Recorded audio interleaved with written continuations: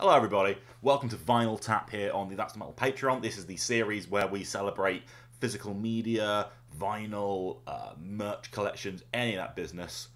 On that point, obviously, it's basically all been vinyl so far. Um, it, has been a little while since I've done one of these. Um, I did have a specific idea of um, some stuff that I was going to be doing for the next vinyl tap that would be a, a little bit kind of just not the same things that we've been doing so far. And then time kept just getting away from me for uh, for doing it, and I've been some places and I've accumulated like a whole bunch of stuff since uh, the last one of doing these. So what I'm going to do is this video is going to be that stuff. Um, so all, big pile of vinyl, that, that kind of stuff, usual business. Um, and I'm going to do another one of these fairly soon, uh, a few weeks or something. Um, that will be the, the original idea that uh, I, I, had. I'm making it sound a lot more kind of snazzy and exciting than it really is, but uh, it'll be cool. But uh, as I said, I've been around. I've, I've, accumulated some stuff in the last few weeks that uh, I've got well, a couple months even that I've got in this pile next to me. So let's get cracking. First thing is straight off the bat about four records, but uh, it's a whole bunch of Unto Others slash formerly Idle Hands. Only one of these is, but uh, yeah, you know that band.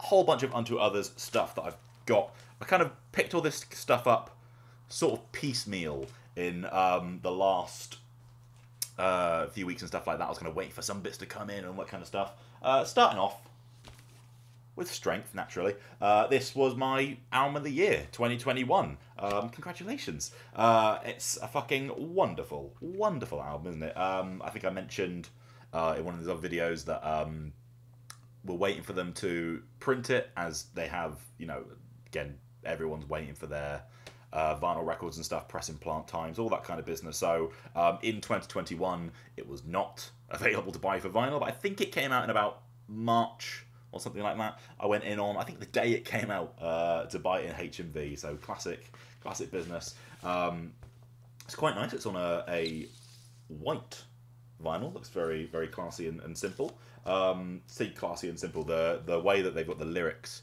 printed and stuff like that is just kind of straight text. Uh, it reminds me of um, old Metallica albums, like when you buy CDs of uh, or vinyl, I guess, of you know the '80s Metallica records, and they all have that very simple, just you know, Leper Messiah, and then the lyrics like that. Uh, so I, I, don't know if that's an intentional reference, but that obviously adds that sort of classic sensibility that uh, I get from a package like this. I fucking love the cover artwork. I think I said it was my favourite artwork of last year on the TNM Awards at some point. Just very, very, uh, I don't know, austere and kind of glossy looking. And I particularly, I think I mentioned on that show, the back cover with this lone horse just like pegging it through uh, fucking Roadrunner label down there. So cool. Um, yeah, through that lightning storm. Just uh, absolutely gorgeous stuff. Uh, the other stuff I mentioned, uh, I suppose, a little bit more exciting in terms of where it was picked up.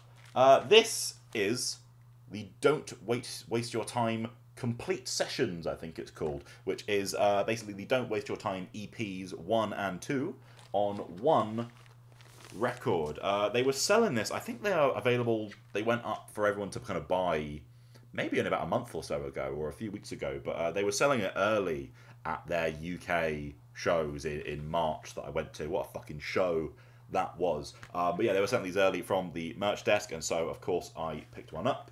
This is on a, I don't know if you'll be able to see it very well. Uh, yeah, sort of black and red. Very nice. Um, don't waste your time. One EP was, uh, if you're not super, you know, haven't gone in on every single bit of this band's back catalogue. Uh, it was their first release before the first album came out believe it was 2018 that that was released, and uh, that caused you know uh, that stirred up some buzz in the underground for them because holy shit, like uh, Gabriel's performance as a singer isn't quite as good on it as he would, you know, grow into his voice more on the next couple of records. But like these songs, I mean, it starts with Blade in the Will, which is on the first record, is just fucking mega. And then even still, non, you know, LP songs that have just uh, always been on this record. By Way of Kingdom, can You Hear the Rain, which I sing literally every time it's fucking raining outside my house. Uh, time Crushers all amazing songs.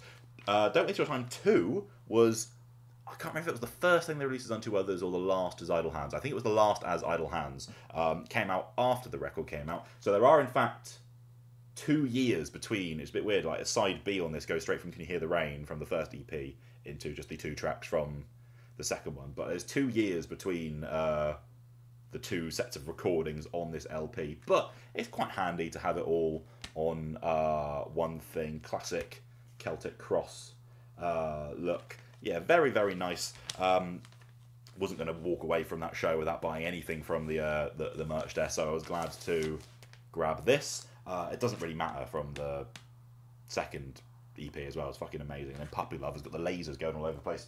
Uh, the latest one to, I guess, uh, arrive for me was the I Believe in Halloween seven inch. Um, they also they did have that at the merch table on their uh, UK run, but I'd already pre-ordered it when it came out in like October and was waiting for it to fucking come. it finally arrived like a couple of weeks ago, which was sort of a prompt for me to go like, oh, yeah, I should really finally get around to making this video. Um, this was again just fucking outrageous that they had all of those amazing songs on Strength and then turned up for Halloween 2021. I was like, here's two more. Uh, Out in the Graveyard is genuinely one of my favorite unto others songs. Like so catchy so fun. Uh, i wish they played that one but uh, they did dalmatian instead which is another very very good tune. Um, obviously it's halloween so it's on orange. It's one of those funny seven inches where you need the the, the middle thing the kind of stabilizer in order to actually play it. I think i have one of those but i haven't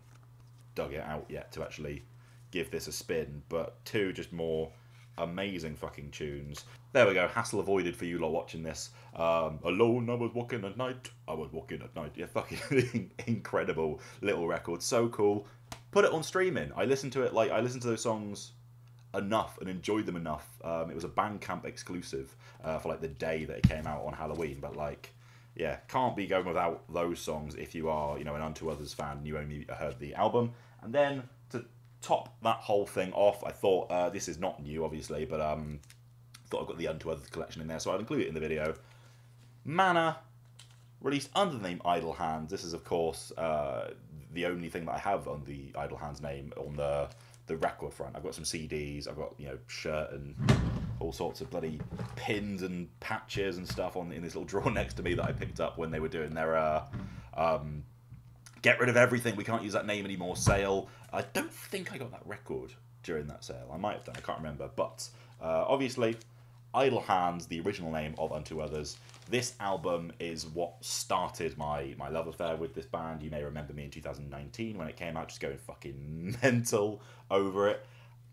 It might still be my favorite thing they've done. Like this and, and Strength are two basically equally good records in my eyes. They are both like fucking 9.5s out of 10s. Like, uh, it's just a case of like, oh, a single solemn rose or when will God's work be done? But like, my God, what, what a debut.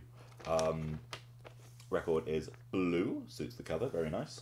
Uh, yeah, I'm very glad that uh, I managed to you know grab this with the Idle Hands name on it before they uh, had to change everything. Because obviously, if you go on streaming and everything for this record, they've changed the cover art to um, be obviously um, unto others. Uh, but I felt like it's you know it's nice. I, I loved it as an Idle Hands record when it came out, so I can have it as Idle Hands record. Really cool. One of my favorite promo pictures like the last few years. Just like looks fucking cool and epic, doesn't it? Um, lovely cover art as well. Like just a, a very nice painting. Um, yeah, absolutely stellar debut record. Just seeing what else is in here. Got uh, just just a lyrics booklet. Very nice. Just remember this being released on Eisenwald Records, who put out uh, you know German black metal stuff, and this was the time when they were touring with uh, Gaahl and and and bands like that, um, and now they're out with fucking Behemoth and Arch Enemy on a you know Roadrunner label. Um, yeah, there is all the Eisenwald stuff. Yeah, just fucking that little collection there of uh you know they've only got two albums, got four releases from them there. One of which is a compilation of two other releases, but like it's just non-stop fucking incredible gothic heavy metal songs, unreal stuff. Speaking of gothic heavy metal, um, these next two things are well, next few things actually were I went to London. Um, popped down to London a couple of weeks ago. I spoke about it on the podcast when I went to Incineration Festival and I saw uh, some some shows and, and other things like that. Uh, one of the things I did was on the Friday when I arrived in London and I had some time to kill. Uh, I went up to Highgate Cemetery, which is a place I was interested in visiting. I wanted to go to the bit where um, they filmed the intro of the 1970s Tales from the Crypt film. That's the kind of nerd I am. Uh, but that was on the other side. It's like split into two halves of cemetery, and you have to buy different tickets to go into different sides. But I went to the side that has Karl Marx's grave in there, and I visited Karl Marx. Um, had all the the the banners and stuff that are put down by the various communist parties from all over the world, being like, "Thank you, Karl Marx." Um, but uh, like ten minutes or fifteen minutes away from Highgate Cemetery is the Rise Above record store that I did not know existed until something crossed my Instagram like a couple weeks before I was due to go. Um, in there, they said they'd only been open for like a year or so. But Rise Above is obviously, um, you know, if you are a, a Doom um, uh, lover or an interest in sort of, you know, underground heavy music, um, long running record label uh, ran by Lee Dorrian, formerly of Napalm Death and Cathedral. Uh, but they have now a physical record store that you go and uh, can go and shop in um, in in Highgate in North London. I went in there, had time to kill. Obviously, it was near the cemetery. Uh, I did not buy Rise Above releases. I was thinking like maybe I should finally pull the trigger on buying Opus Eponymous, which uh when you which is like their biggest release ever, obviously. And when you go in there, they've got all the big Rise Above releases, like you know that and um, Uncle Acid and the Deadbeat stuff, and some Electric Wizard, and that all sort of scattered around. Um, but I bought these two things. One of these you may recognise from recently. One of them, hmm. Um, I went in there, and Lee Dorrian from Cathedral was in fact there, just manning the uh, the the record store. Um, so I went in there and had a little chat with him. Uh, but what was particularly funny is, of course, the fact that I bought Cold Lake by Celtic Frost there, which means I bought this off Lee Dorrian, and he saw it under like it was hidden underneath the other one, and he went Cold Lake, and I had the little you know the smirk from him about buying one of the most infamous uh, disaster heavy metal records of all time. I obviously had to buy it because Celtic Frost are the best band ever, and this is the only one that uh, because it's their shit record and Tom G Warrior like is deeply disgusted and ashamed by it to this day. Uh, you know, a few years ago they reissued the entire Frost catalog. This is the one that they never ever do. You will never ever see it reissued by them. You will never see it put on streaming willingly by them. Like they just don't want to, you know, have it as part of their catalog essentially. Um, but it means in order to have Cold Lake and therefore have the entire Celtic Frost um, discography, as I obviously wish to have, uh, you've got to shop around a little bit, look for some, you know, older copies, which is this. And I bought this for £30, as you can see. I haven't taken that off yet, uh, which fairly decent going for what is, I, I guess, an original copy from the late 1980s. Um, let's get out of the way. What's going on here? What's happening? if you've ever seen, you know, Triptykon in the present day, Tom G Warrior right there, and he is like the the least out of the ordinary person on here because th- this, the the suspenders on the fucking unbuttoned jeans showing off the giant mass of pubic hair.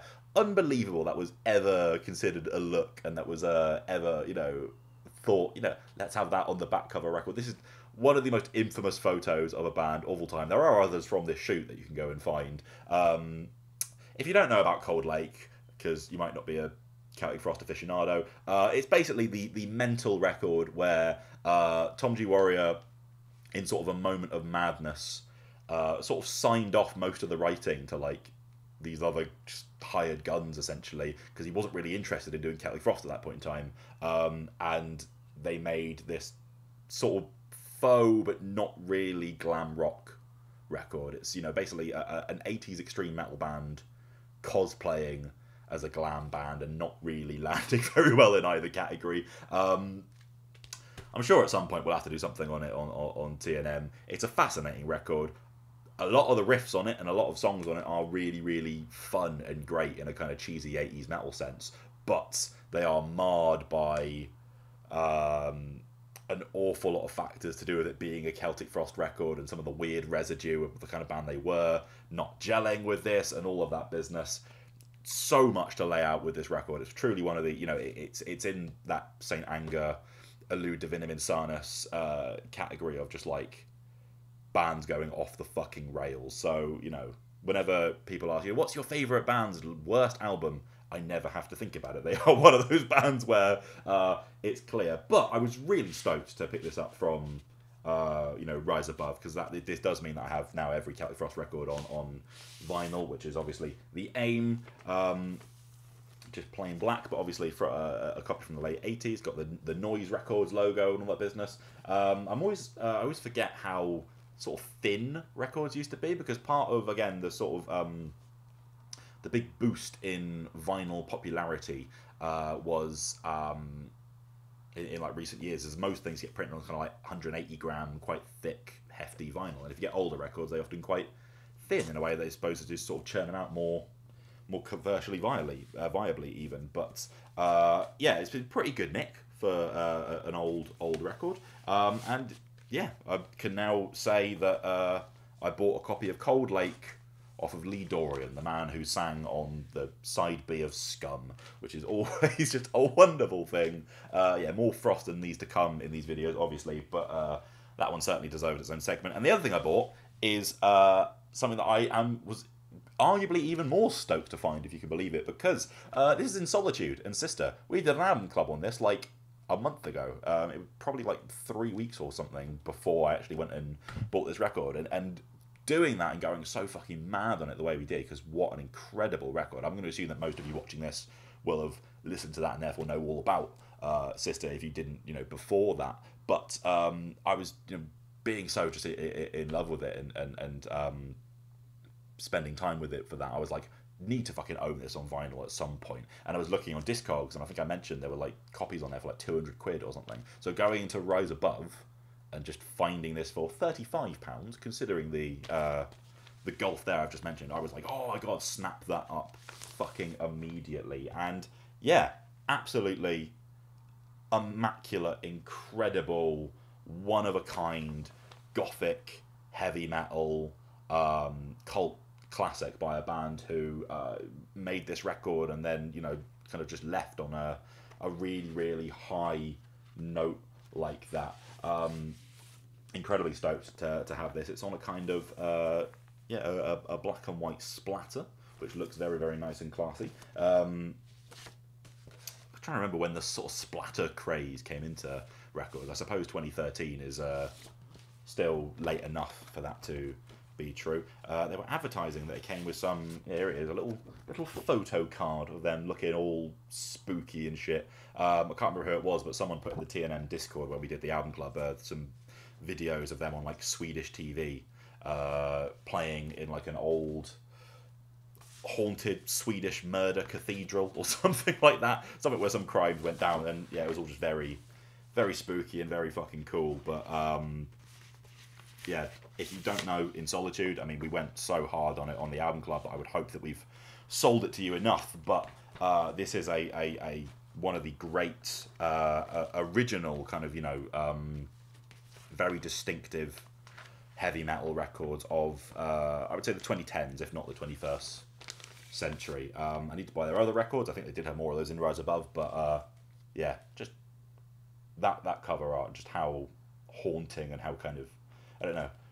It, it stirs something in you, and you want to know what's going on in there. And what you get is just fucking absolutely incredible, uh, dark, cultish music. Um, so that was my rise above haul. Probably spent more than I should have, but when you find those two things, it was like okay. Um, they had like other, I think some like old original copies of like the the good '80s Celtic Frost records that were like you know hundreds of pounds or something. I was like, oh, one day. Um, but uh, after Incineration Festival, I went to see Lamp of Murmuur at their first UK show. I spoke about all that on the podcast. Uh, this was what I managed to grab from the fucking trench warfare storming the fucking beaches of Normandy uh, assault that was trying to reach their merch table. There was like half an hour waits of people like at the start, and then they just fucking sold out of absolutely everything. Uh, but this is Lamp of Murmuur's Punishment and Devotion EP. We spoke about their album Submission and Slavery last year uh, when it came out. We reviewed it. It's kind of, you know, raw black metal, but infused with loads of kind of Siouxsie and the Banshees, um, uh, you know, and kind of gothy dance beats and riffs and stuff like that, which means there's real creativity in this kind of music, which is so rare for what is you know, usually sort of termed, you know, dustbin kind of black metal. That's why Lamp of Murmuur are like the hyped band around because they are so fucking good at it and so uh, creative and have their own identity in that world. It's very fucking rare that you get something to such degree. Um, but I sort of went up to this, and I, and I was going to see if they had any records of submission and slavery because I wanted it. Um, they didn't. They only had these. Uh, this record is uh, when that album came out. They did a bonus EP that they put up on their Bandcamp of two off-cut tracks that didn't make it onto that record, and it's kind of interesting that they didn't make it on because that record was so short. It's only like half an hour or something, including a, a, a cover.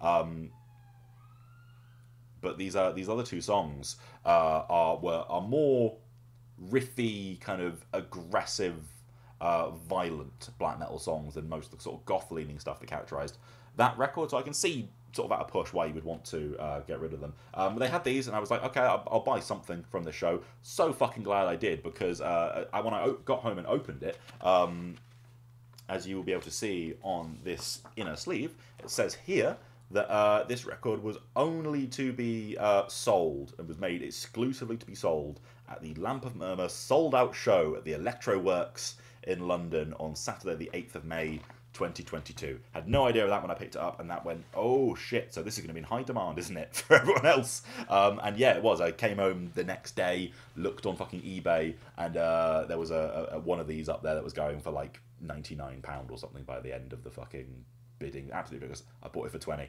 Very glad I bought it. Um, signed by M on the back there. There he is, looking all cultish. Uh, and yeah, and it has these two tracks that are again the more aggressive, riffy. Fucking, they played one of them at a show, and it's just like actually really catchy, really strong uh, riff for what is again the B sides of the songs that you didn't get on a raw black metal album, and it's like, oh shit, they're good. But the physical version also has this exclusive uh, cover on it of Qual by Xmal Deutschland. Um, Lamp Murmuur, he likes to do sort of old 80s goth covers, bonus tracks and stuff on his, on his records. Uh, there's one of Dead Can Dance. Um, I think the last one had Rudimentary Peni, maybe? I can't remember exactly. Um, but this band, uh, unlike those, I had no idea who they fucking were. I'd never heard of them. Um, but this cover is super fucking cool. Uh, and it made me go and check out the original song as well, which is great as well. Like, again, just really, um, you can probably tell from a name like that how sort of like militaristically dancey, uh, you know, goth, um, dark wave stuff. Uh, but uh, both the original song and the, the raw black metal cover of it, but maintaining that dancey side of it, are wicked. Um, I think this is just a, a, black vinyl. Let me just check that. Uh, yes, it is. But um, a pretty exclusive little thing to get. Now I just need to actually get the, real album that they were, uh, you know, uh, excised from and I'll have the proper Lamp of Murmuur collection aside from demos and all that shit, um, which is mainly what that set comprised of. It was like this and demos and songs from the first album. But uh, yeah, really glad to have actually sort of almost on a whim gone, yeah, I'll, I'll get something from the show and, and grab this.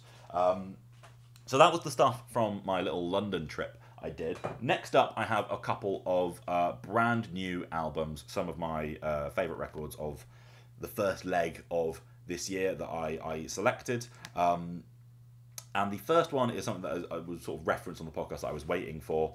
It's The Agony and Ecstasy of Watain, uh, a record that we reviewed not too long ago, came out at the very end of April. Um, if you don't recognize this cover, this is because this is the very fancy edition. Uh, this is number 212 of 1333 that they did. I don't know why they did that specific number, but given Watain's obsession with numerology and all that sort of nonsense, it's probably got some you know, maybe it's half of 2,666. I don't know. But uh, this is, uh, well, as soon as these went up, I mean, I love the, the sort of extra artwork they've got for it. Um, so I was like, I'm buying that. Um, pre ordered that. Inside, we have, of course, the Central record. Um, this cover has grown on me. I wasn't wild on it at first, um, but uh, there's a lot of awesome shit, you know, going on behind here. Um, I fucking love Watain. I've mentioned it enough fucking times. They are like one of top five favorite band of all time for me. And so when they do something like a big fancy edition of a new record, I'm like, yeah, I'll pre-order that immediately. Uh, really cool color on this one. Um, a, a red sort of smoky uh, splatter looks very very nice. I'm not sure if that was just for the limited edition or whether that was for for all of them, but um, looks great has some posters and stuff inside, which are being Watain are all just like fucking mental looking. Um, actually, also I didn't I, I didn't even find this big sticker, shiny sticker of the original logo um, for the album. Also, I love the like the detail and stuff they put into their lyrics uh, booklets and stuff like that. Like the the Lawless Darkness one always fucking blows my mind for the quality of the art inside. But this looks great. Got that sticker. Got the CD with it, which is always extra fancy when they include the little the little disc in with the records. I'm trying to find the ridiculous posters I mentioned. I think they might be in this little uh, sachet. Look at that squad. Look at Eric at the back there doing his oh, um, fucking what a terrifying group of fellows. Uh, the only one who I can tell, I can tell that's Eric. The only other one who I can tell who it is is Alvaro, who's the bassist, because of that silly looking beard. Just poking out underneath his Watain face mask. Um, and they are holding torches and shit on the back. Um, I won't be putting that up, but it's a nice little thing to whip out and gaze at from time to time of just, you know, the fellas looking a bit intense. Um, the main thing that was sort of sold with this, uh, I mean, really, I wanted like the nice leather case, sort of more than anything. Um, the main thing that was sort of sold to go with like what was making this so fancy is uh, something that we've sort of memed a little bit, um, but this is the actual the context for it. This is a Watain prayer cloth,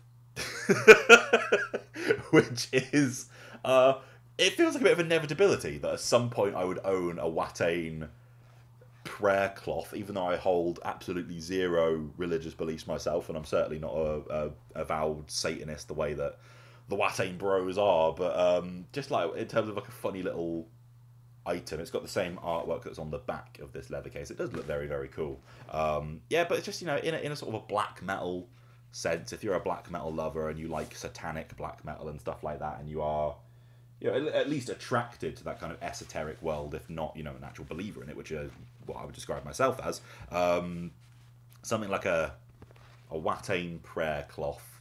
Um, you know, I'm, I'm, sure Batushka or someone would do something similar if they were coherently a band. Um, but yeah, it's just like a fucking nice, cool little item to add to your shelf of spooky shit, I suppose. But yeah, this record, um, I haven't mentioned what I said about the music, I suppose, could be reviewed on the podcast. But um, Agnes of Watain, it's uh, a via for my is that word a via um, sure for my favorite record of the year so far. I don't think it's quite at number one right now, but it is um, an absolute fucking blast of uh, the best straight up black metal band in the world, um, in my opinion. Going through a whole like a, a good range without it being a sort of an overlong record of the kind of things that they do, where there are super aggressive songs that are just so alive, really kind of anthemic melodic songs, uh, and then some kind of more expansive and experimentally stuff. Where the song "We Remain," um, featuring uh, someone from In Solitude actually, uh, but also um, Farida from The Devil's Blood singing, is just fucking immaculately spooky and immaculately immersive, which is why I would love to get again a record like this and just put it on and have this whole lavish kind of packaging for it. Um, I've got some other similar cool Watain stuff sitting around on the shelf, but nothing quite of this. Uh, no prayer cloth prior to this, basically, is what I'm saying. But um, fantastic album. Um, not one of my favourites from them, but uh, one of the best bands ever for me. Uh, so awesome package to get. I'll put that together properly in a bit after I finish filming. But when I say that it's not quite at number one for me so far, um, it's I think that slot right now is going to this record, which similarly is absolutely nowhere near being my favourite record from this band. I am hoping that something of real fucking magnitude comes out and, and blasts all of that away. But it's Ghost and Impera.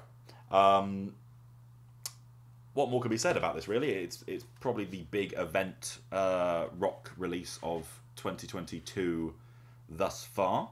Um, even though it got dethroned by what was it, the fucking Chili Peppers uh, in terms of sales and that.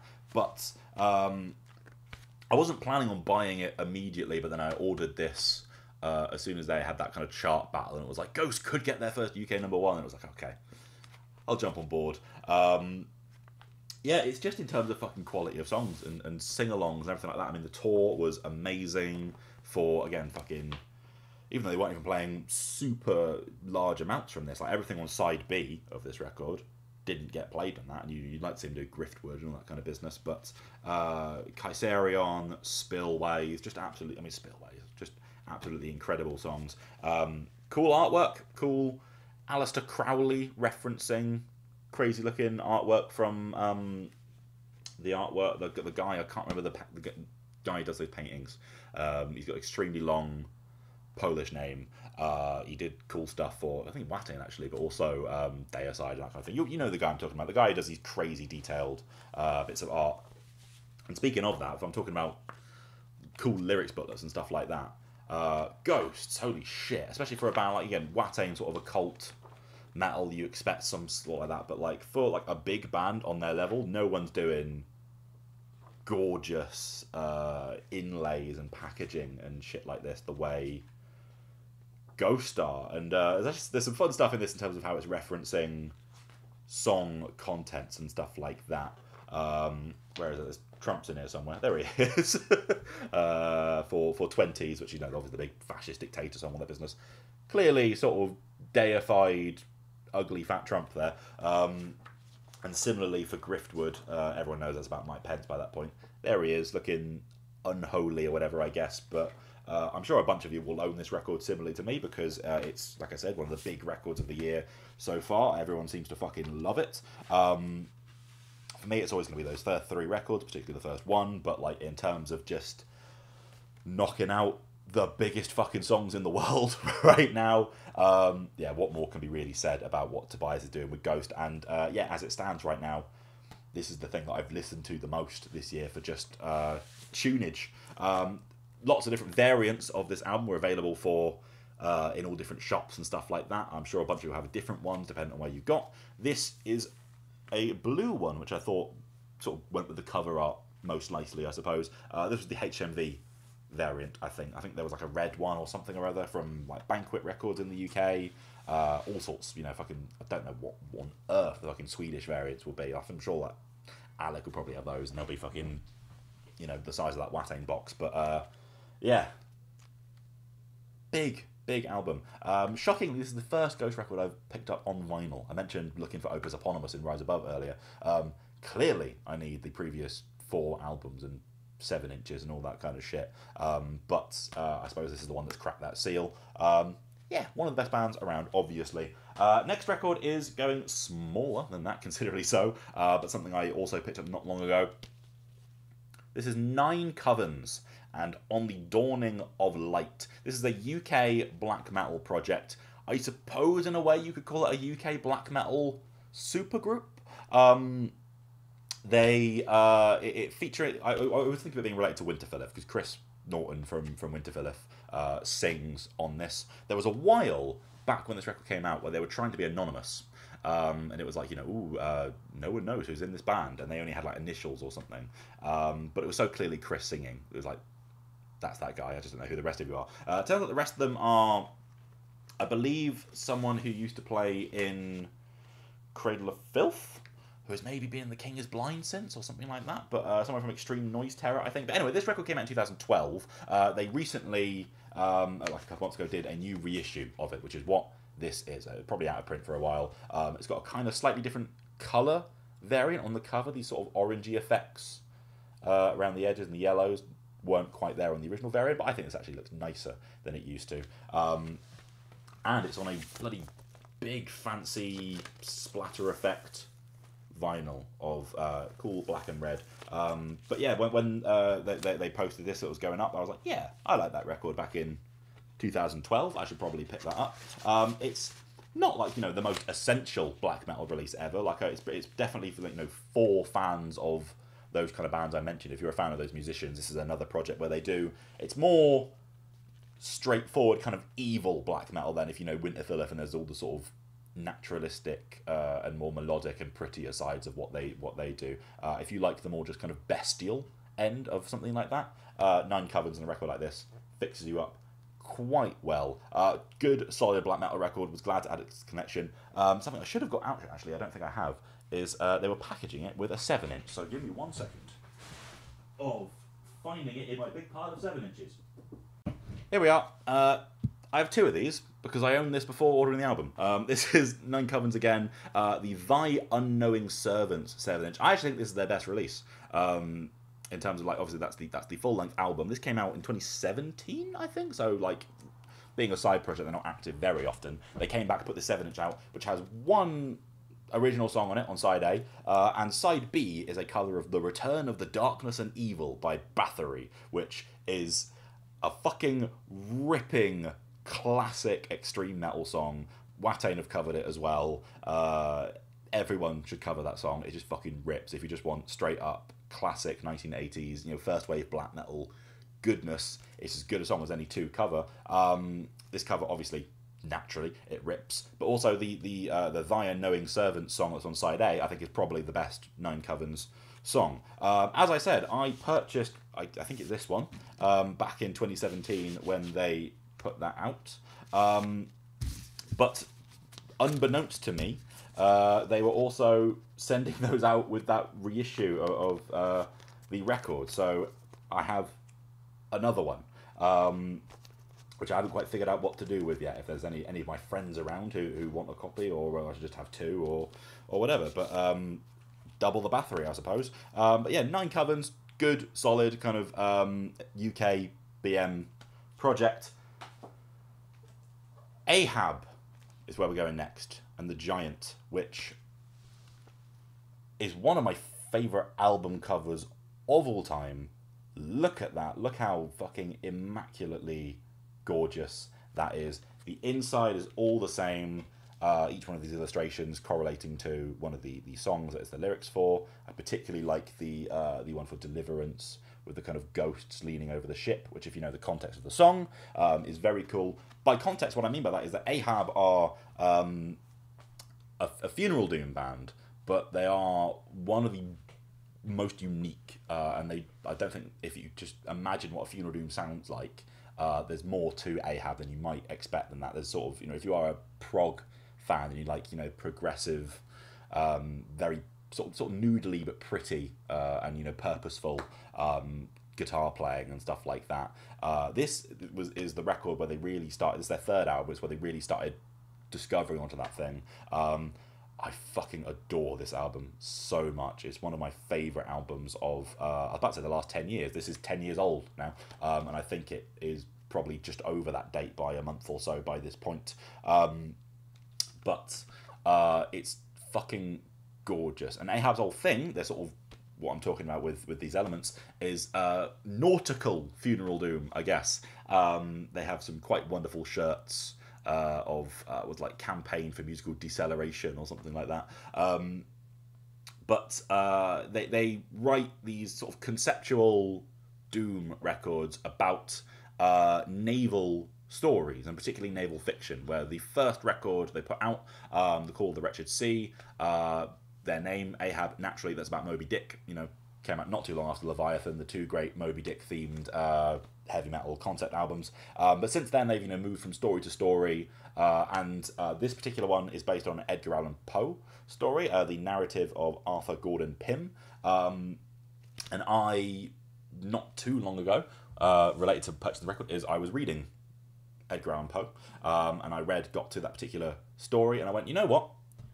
I am going to finally, 10 years after the fact, purchase this fucking incredible record uh, on vinyl. Um, and I had that on when I was reading that particular thing for, you know, the mood building and, and whatnot. Um, so you've got this story about a, uh, you know, a, a ship traveling the seas, but it's uh, specifically in this story, it goes in towards the, you know, the Antarctic and stuff like that. And the general I just feel that the the starkness and the desolation and the sort of loneliness of kind of being lost at sea. Like you know, imagine yourself, you know, just one person, you in a little boat out in the fucking ocean with nothing around you for, for miles around, um, and the sort of the hopelessness of that kind of situation.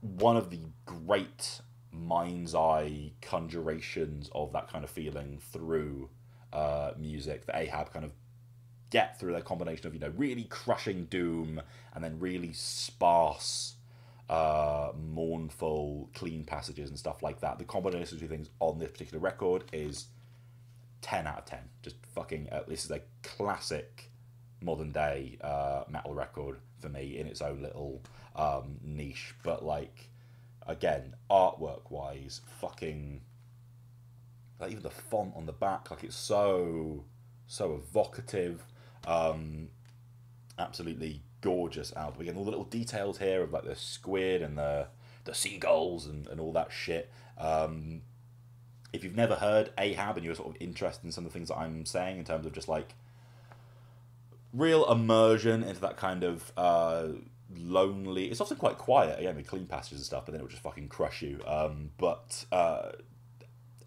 incredible, incredible album. I need to buy the rest of theirs um, on, on this particular format, but uh, hope they come back soon. It's been about seven years since their last album, which was the follow up to this one. Um, and yeah, they're, they're one of the, the great unsung um, classic bands of, of, their era, for my money. Uh, and then finally, another video is going a little bit long, but I had a bunch of shit, as I said, uh, is I believe I mentioned this was coming on a previous episode. We're back to Wode uh, and their record. This is Servants of the Counter Cosmos, and then, seeing as I thought, uh, I don't think I've shown it in any of the other ones, I should probably do it here. Uh, this is the first Wode album, which I think is just self titled. Um, Wode, uh, their record, um, I've forgotten the fucking title of it now, it had a funny, weird title, but um, the one from last year uh, is fucking incredible. Um, a bunch of you, um, like more than you would imagine for like a, a small UK black metal band. Um, I, I, know a lot of people in the audience really vied with that record and, and, and loved it. Um, I showed it in a video uh, a few of these back, um, and I mentioned that. Uh, Servants of the Countercosmos, which is their second record, um, they had reissued. It was the only one else I didn't have, and I had ordered it, and it was coming. Well, it came. Here it is. Um, amazing album artwork. Well, the thing between Wode is they do have one of the absolute best uh, album art and general sort of merch aesthetics and stuff like that. It's not. Um, I don't know. It's not like a very particular thing to them, but they just have really fucking nice designs and stuff like that. And they do tend to use sort of classic paintings and, and stuff like that in their uh, artwork. This has again, considering the record is Servants of the Counter Cosmos, there is something very cosmic about uh, this particular image. And then you know this wizard fella but then also the, all the people around him sort of, reeling in um, shock at what's going on. Uh, is this just black vinyl? It is just a a black vinyl, but um, this is a fucking ripper of a record. Like, goddamn, like this is a so some of this is so riffy, and so you know if you enjoyed uh, the heavy metal side of, of their latest record, because they are obviously it's a black metal band, but they do have a real sort of eighties metal uh, kick. I think that was the most prominent on that latest record, and it's part of why it is their their best album because they're so good at this bits. But Servants of the Counter Cosmos is like a violent record, like just really burly and, and, and nasty. Uh, and yeah, like this, when this came out, it did sort of set them further apart. Like, oh man, this band are really onto something. Uh, the record that I got into them on is their debut record. This, I believe, is my original copy that I purchased um, in 2016 when this came out. It's got a bit of damage on the top there, but uh, no worry. Um, yeah, self-titled record, and this has the general sound and sort of uh, again viciousness of of uh, what Wode do, but it's got some kind of longer songs on it, and it's slightly more of the melodic side, I guess. There's this first track, Death's Edifice, which is still one of their best, but like uh, you know when we mentioned those sort of Swedish style black metal melodic leads and stuff like that, like really um, ear catching. Uh, I think this is also just a black vinyl. Yeah, uh, fair enough. Small UK band. Um, but when I mentioned classic paintings and stuff like that, this record artwork is so striking, uh, and it's you may well recognise the the style of it. Um, it's from uh, a, a, different Polish guy to the one I mentioned before, um, but equally um, difficult to remember name. But his name is uh, Beksiński, um, and then something or other beginning with a Z with uh, his uh, first name. But uh, unbelievable fucking artist. Like this is not one of his best paintings, and that's all that can really be, uh, all that needs to be said about him. He had a fascinating life. He um, grew up in, in, in Poland in the kind of post-war and you know, World War Two uh, years, which uh, and obviously saw an awful lot of um, just fucking human travesty and, uh, uh, and, cruelty that seemed to really creep its way into sort of the, the darkness and and uh,